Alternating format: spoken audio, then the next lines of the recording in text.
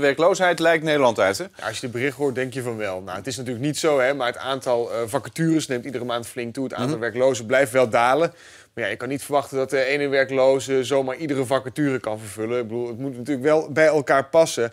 En dat zorgt er dus voor dat die ondernemers met de handen in het haar zitten. Want ja, op het moment dat zij niet hun bedrijf voor de volle 100% kunnen laten draaien... omdat ze te weinig mensen in dienst hebben...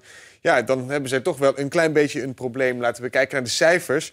20% van de bedrijven voelt zich uh, belemmerd door tekort aan mankracht. En dat is dus nog nooit zo hoog geweest uh, uh, sinds we dat zijn gaan meten in, in 2008. Maar weten we ook of kunnen we aangeven hoeveel economische groei we als gevolg hiervan mislopen? nee, dat weten we niet. Maar dat het niet goed is voor de economie, dat weten we wel. Het zal wel wat kosten, want ja, er zijn heel veel bedrijven die echt last hebben van het feit dat ze te weinig personeel hebben. Ja, dat zal waarschijnlijk wat groei kosten. Aan de andere kant, de economie groeit nog steeds hard. Ook in het eerste kwartaal van dit jaar weer bijna 3% Dus ja, als het wat groei kost, uh, ja, kost het ons niet heel veel, want die economische groei is nog steeds dik in orde. Maar even goed, is het voor bedrijven vervelend? Hoe lossen we dit op? Het is vervelend, zeker. Nou, uh, de bal ligt eigenlijk bij die bedrijven zelf. Het hm. is natuurlijk een kwestie van vraag en aanbod op het gebied van vacatures en, uh, en personeel. En hoe los je dat nou op? Door de lonen omhoog te gooien. En die zullen dit jaar ook omhoog gaan.